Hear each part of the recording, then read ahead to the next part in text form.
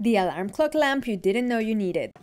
I'm gonna get everything out of the box. This is it. It comes with an antenna because this can play the radio. It comes with a USB block and wire to power and you can use batteries if you prefer. Let's set it up. You can change the brightness of the screen. Now I'll set the correct time, select the right date and I was surprised to find this comes with 7 built-in languages for the day. To play the radio you just tap here and control the volume.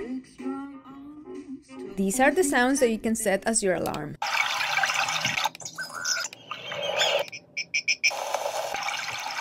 You can set volume for your alarm as well as color and brightness. Here's the snooze button and there's a built-in timer as well.